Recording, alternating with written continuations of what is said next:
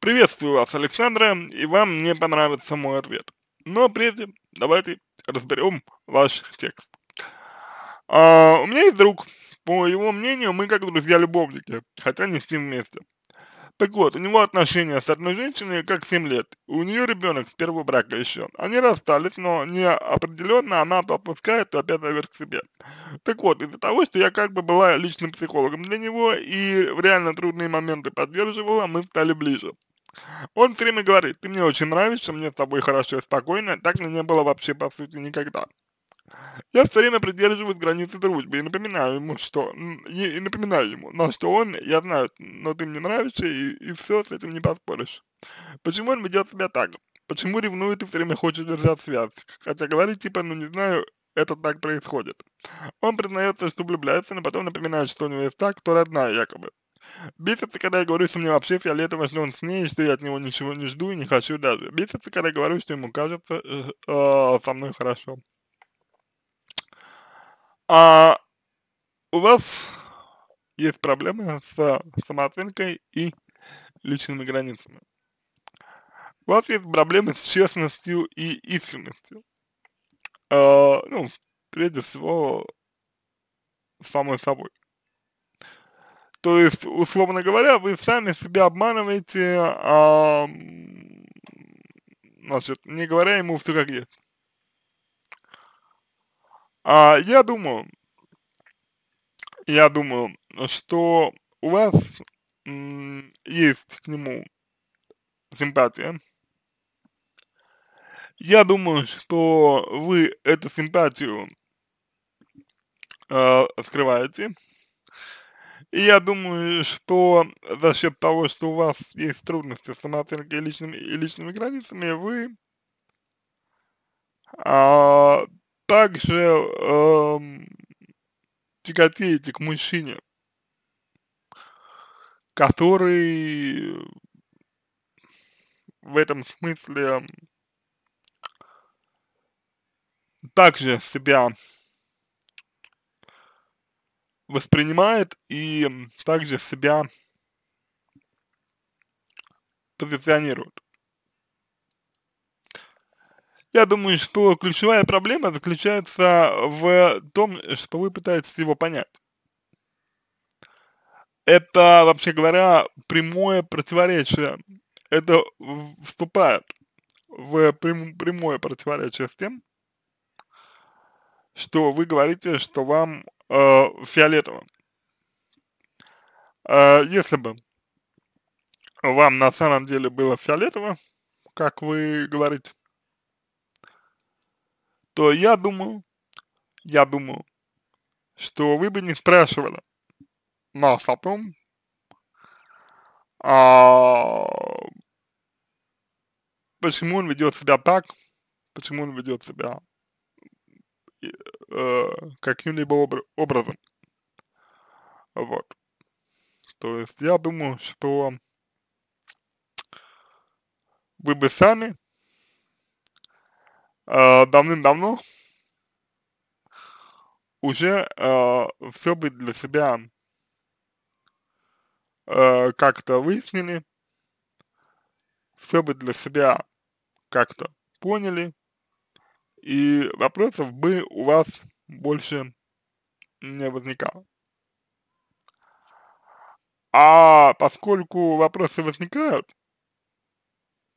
вот, что, в принципе, естественно, потому что у вас, э, ну, есть э, как бы чувство к человеку, вот, то вы здесь, э, к большому моему сожалению,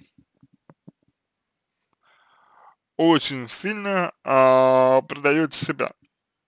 Вот. И, соответственно, вы а, вот именно э, к себе здесь относитесь, мягко говоря, не очень хорошо. То есть именно э, себе здесь вы больше всего вредите, к сожалению.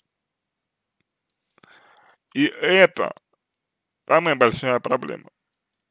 вы не можете быть э, психологом для человека, потому что вы не психолог. Э, вы не можете оказывать, как я думаю и полагаю, э, у меня есть, э, ну, аргументы на это, э, такие, значит, вы не можете оказывать такую услугу человеку и при этом э, становиться ближе, потому что если э, такая услуга оказывается, то человек как раз таки держится, держится на расстоянии. Вот. Я думаю, что вы а, в этом смысле а, не очень внимательны к себе. То есть я думаю, что вы, э, ну, забываете о себе. Вот. И чересчур поворачиваетесь на мужчину, делая его э, в этом смысле центром своего э, внимания. Вот. Понятно, что а, человеку с вами удобно. Это понятно совершенно и совершенно это очевидно. Понятно, что человек, э, не в его интересах что-либо менять, потому что зачем, зачем, у него уже есть все, что, все, что нужно ему, вот, и вот, как-то как, так, я думаю, что, а если с вашей стороны будут а, скорректированы вот эти вот аспекты, которые я озвучил, вот, то